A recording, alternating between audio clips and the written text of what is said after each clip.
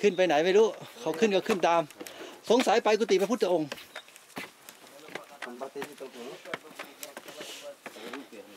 วันนี้เป็นวันที่เหนื่อยมากที่สุด เมื่อยด้วย ถือกล้องมือเดียว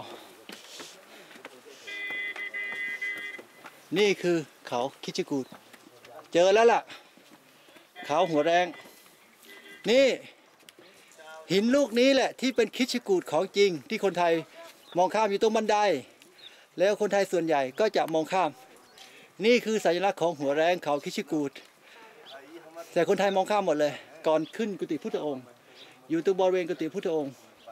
มองไปด้านนู้นเห็นวัดญี่ปุ่นนู่นนะนู่นนะนู่นนะนู่นนะในวัดญี่ปุ่น นี่คือเขาหัวแรงเห็นยังเอ่ยเขาหัวแรง สัญลักษณ์ของคิชิกูดนี่ไง เดินมา นี่หัวสิง หัวสิง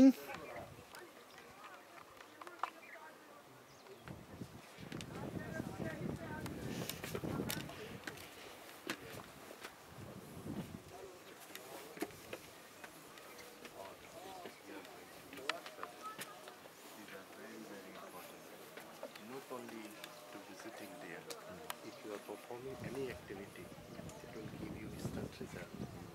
particularly premises and about them. Before Buddha, thousands and thousands Buddha went there